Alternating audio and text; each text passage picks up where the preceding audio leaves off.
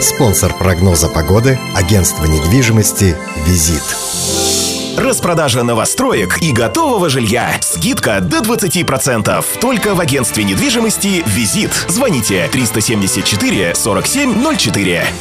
В понедельник в Самарской области будет пасмурно, осадки в виде дождя. Днем плюс 1, плюс 3 градуса, ночью также плюс 1, плюс 3. Ветер западного направления будет дуть со скоростью 3-5 метров в секунду. В Сызрани пасмурно, небольшой дождь.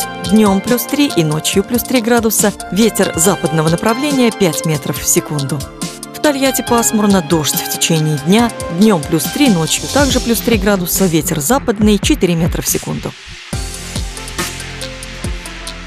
В Самаре пасмурно и дождь. Днем плюс 1 градус, ночью также плюс 1. Ветер западный 4 метра в секунду. Атмосферное давление 745 миллиметров ртутного столба. Влажность воздуха 90%.